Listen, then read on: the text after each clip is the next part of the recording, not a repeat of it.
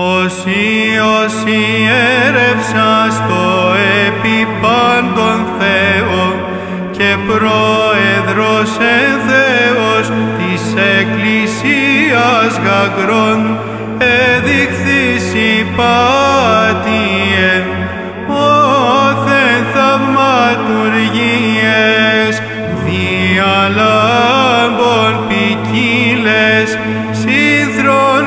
σύγχρονον τότε κόντι τον Υιόν ομολόγης διον και χαίρον ήθλισσας ιερομαρτήσε